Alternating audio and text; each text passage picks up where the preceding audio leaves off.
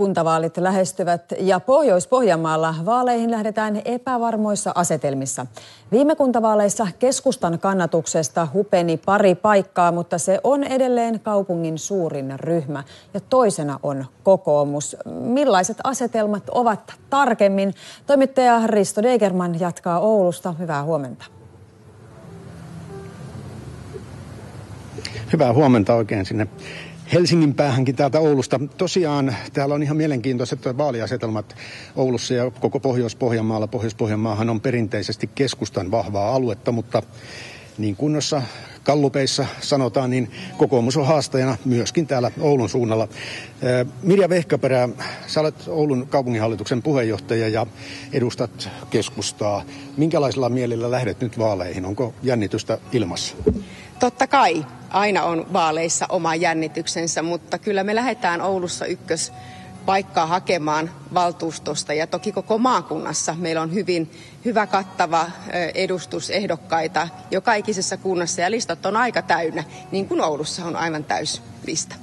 Juha Hänninen, sä olet kokoomuksen edustajana ja kaupunginvaltuuston puheenjohtaja.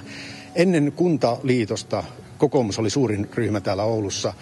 Teillä on nyt toiseksi suurin ryhmä. Minkälaisella mielellä lähdet liikkeelle?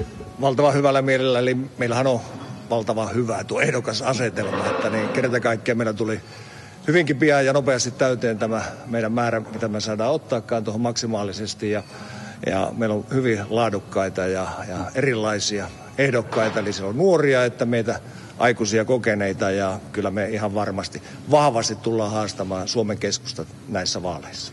No minkälainen on sitten tuo tuleva vaalikausi? Siellä on tähän asti puhuttu paljon taloudesta. Onko se edelleen se, joka leimaa tuota tulevaakin valtuustoa ja valtuustokautta? Kyllä se varmasti on, eli taloutta pitää pystyä tasapainottamaan ja painopistettä sinne elinvoimaan ja työpaikkojen luomiseen ja sieltä kautta sitten verotuloihin ja hyvinvointiin, eli kyllä se on se ihan ykkösaihe.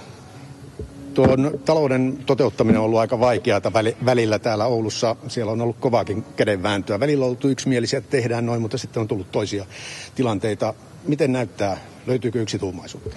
Kyllä meillä on yhteinen varmasti tahtotila ja tilannekuva siitä, että Oulun taloutta pitää saada kuntoon ja meidän pitää säästää ja meillä on tulevia isoja investointejakin tulossa, että aivan kaikkea ei voi velkarahallakaan tehdä.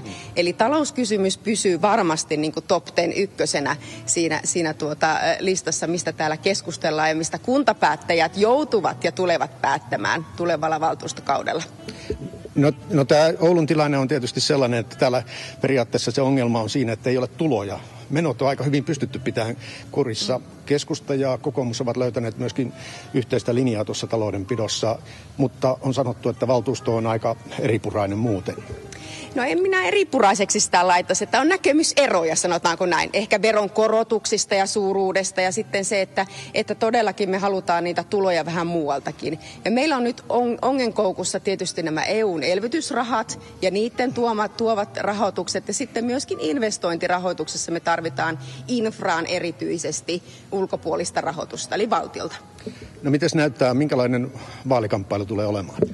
Varmastikin tasainen, mutta ne, kuten sanoin tuossa, että koen, että kansallinen kokoomus on kohtuullisen keulilla siellä, eli ihan ykköspaikkaa haetaan. Ja, ja kyllä mä siitä isosta asiasta lähden vielä liikkeelle, että sitä politiikkaa tehdään yhdessä. Eli yhteistyö on äärimmäisen tärkeää ja se yhdessä tekeminen perustuu luottamukseen ja luottamus taas sitten toisen ihmisten kunnioittamiseen ja arvostamiseen. Eli niitä valtuutettuja halusin nähdä myös tulevassa valtuustossa. Nyt sitten hyvin lyhyt kysymys. Viime vaaleissa koko tuo äänestysprosentti oli 56 prosenttia.